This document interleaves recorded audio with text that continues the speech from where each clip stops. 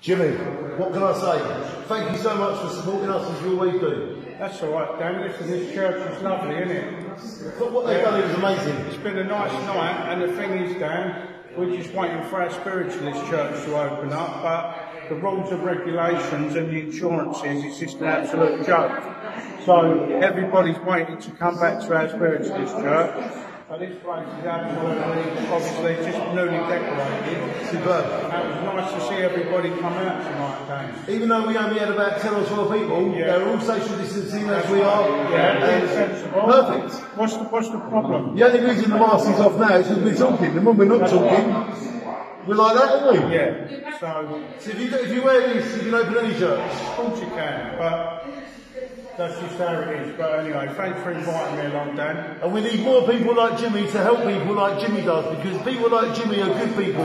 Shine on to Jimmy and Mel, because we need more good people. God bless you. We can all be equal. Yeah. Shine on.